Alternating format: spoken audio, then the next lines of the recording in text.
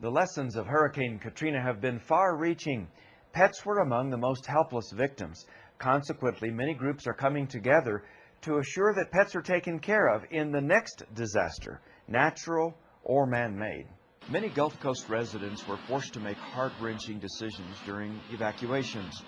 Due to shelter rules that do not allow animals, many pets were left to fend for themselves. Sadly, many of those animals did not make it. Seeing the emotional plight of thousands of pet owners, several congressmen have sponsored new legislation requiring that pets be accounted for during evacuations. The Pets Evacuation and Transportation Standards Act, or PETS Act, will require state and local emergency agencies to have plans in place to meet the needs of pets during disasters. But the potential for trauma and lost pets is still great. The veterinary industry and nonprofit organizations have decided to proactively prepare for the next big disaster.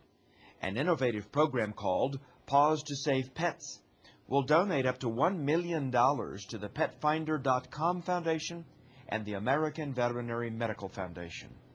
In the aftermath of Katrina and Rita, programs like Paws to Save Pets effectively helped care for thousands of sick animals and also reunited pets with their families. Various websites offer advice about pet evacuation kits and essentials you'll need in case you have to evacuate quickly.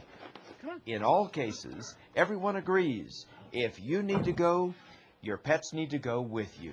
In the event of separation, keeping proper identification, such as tags or microchips for your pets, is one of the best ways to get reunited after these disasters.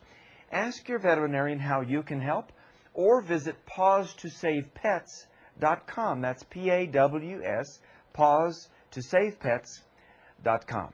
I'm Dr. Jim Humphreys reporting.